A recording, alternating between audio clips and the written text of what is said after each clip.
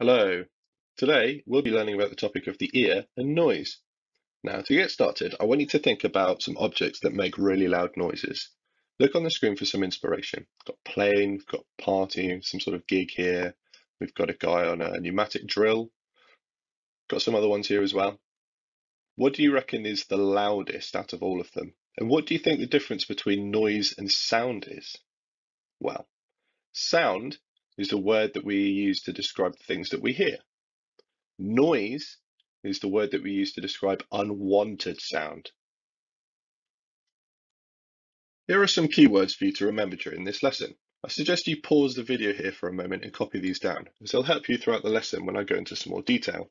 To start with, we have the eardrum, this cone-shaped membrane that separates outer and middle ear. Next, we have the cochlea, cochlea, the bone in the inner ear that converts sound waves into electrical signals. And finally, we have the ossicles, ossicles, which are very small bones in the middle ear.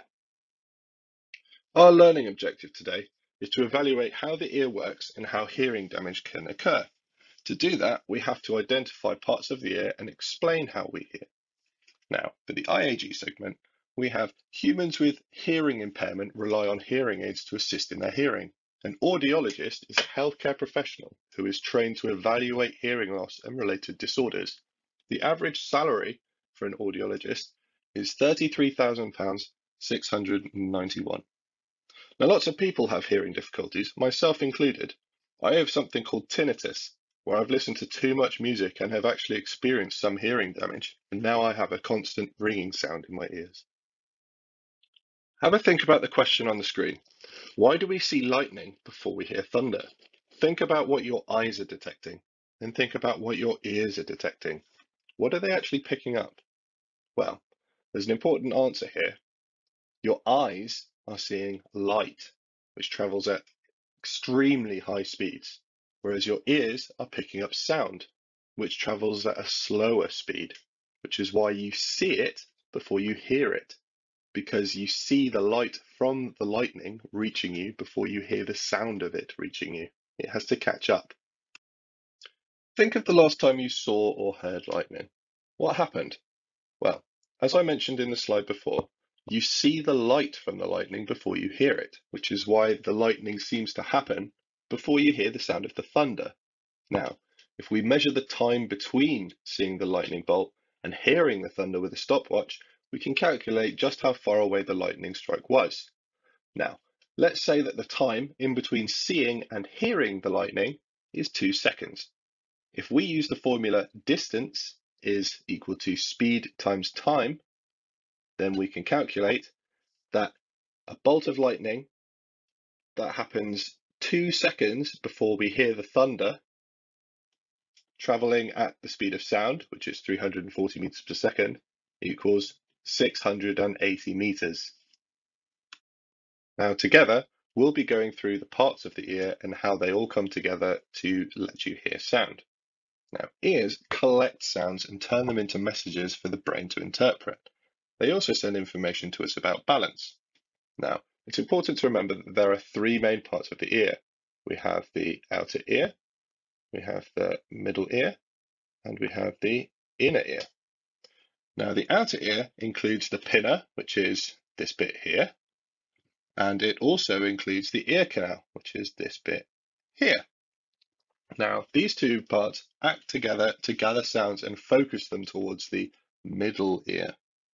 Now the middle ear takes these sounds and turns them into vibrations. So as we can see in the top right diagram there, or the GIF there, sounds are entering the ear through the outer ear and striking the eardrum, which is this section here. This whole part here is shaped like a drum. So the sound waves hit this. This is called the eardrum. Now the eardrum moves when these sounds hit it. It vibrates. And that causes these three little bones here to work together to also move, which we can see down here. So those three bones working together, they are called ossicles, ossicle bones. So these bones are vibrating and send vibrations further into the inner ear. So the inner ear takes these vibrations and turns them into messages for the brain. And the inner ear has this thing called the cochlea, which is this spiral looking thing here. So we have vibrations coming from the ossicle bones. They are making this whole section of the inner ear vibrate. And we have the cochlea, this spiral thing, which is actually full of liquid. So when these vibrations happen along here, they make the liquid inside the spiral move as well. And these cause lots of little hairs inside to move inside that liquid. And they create nerve signals, which are then sent down this nerve to the brain and allow us to process what we are hearing. Now this part here, this kind of tube, it's called the eustachian tube, and now this maintains pressure both on the inside and outside of the eardrum. So, just to recap, we have the outer ear, which has the pinna in the ear canal. This channels sounds into the middle ear, which is where the eardrum and the ossicles are located. They vibrate, sending messages into the inner ear, where the cochlea then makes the fluid inside it move small hairs, which then send signals to the brain, which allow us to hear. Why are loud noises dangerous? Now we can see on the left here a load of people partying some sort of gig or a show or I don't know, a party or something. Now, one of the things that we can guarantee will be there is loud music and loudspeakers. Now, while music can really liven up a party, it can also have damaging consequences. Take a moment to just think about what this might be and think about what the difference between noise and sound is. Well, it should be pretty obvious that standing right next to a speaker is going to be pretty painful because it's just so loud. Now, the difference between noise and sound, which we covered earlier, is that sound is what we hear and noise is unwanted sound. Noise is measured in something called a decibel. So noise is measured in decibels. We can see some levels of decibels on screen here. Now, are any of these surprising to you? Look how loud the speakers at a rock concert are. They are literally the second loudest thing on this list. Now, is it really that surprising that they can damage your hearing if they are as loud as a thunderclap? Hearing damage. Repeated exposure to loud noises can lead to hearing loss through one of three ways. How do you think the pictures below can lead to hearing loss? Take a look at what they actually are. We have a ruptured eardrum, so a hole in the eardrum caused by loud noises. And then on the right, we have the little hair bundles which you can find inside the cochlea, the little things that move inside liquid and send signals to the brain. You can see on the left some healthy ones, and then on the right, we can see some that have been damaged by noise. So hearing damage. Here we have a ruptured eardrum. On the left, you can see a normal one. And on the right, you can see where the rupture is or the hole is. If the skin of the eardrum gets broken, leaving a hole, then it will not vibrate properly, which leads to hearing loss. Think about a real drum. If you are sat in front of a drum and there's a hole in it and you try and hit it, is it going to make a sound properly? No. So some more hearing damage. We can see in picture A, we have some healthy hairs, some cochlear hairs. So these are the tiny little hairs inside the cochlea where that fluid is in that spiral image.